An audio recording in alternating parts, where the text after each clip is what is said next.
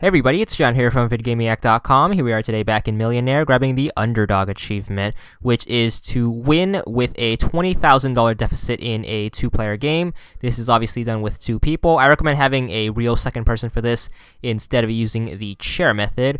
But what you want to do is you want to have the second player answer right until they put up 20,000 or more points and then you just answer wrong with your first player until you hit 20k with the second person. So keep track of how much money you're making. This might take a long time depending how you get your questions. If you get the $10,000 question early, you can knock like half of the amount out of the way. But if you're starting with $100 questions, then this is going to take longer, obviously.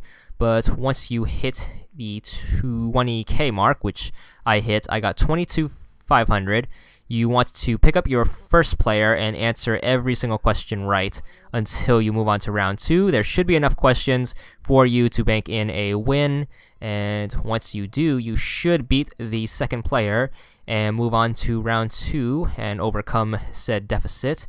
And once that happens, you should get the achievement. And there it is for 50 gamer score, and that's all there is to it.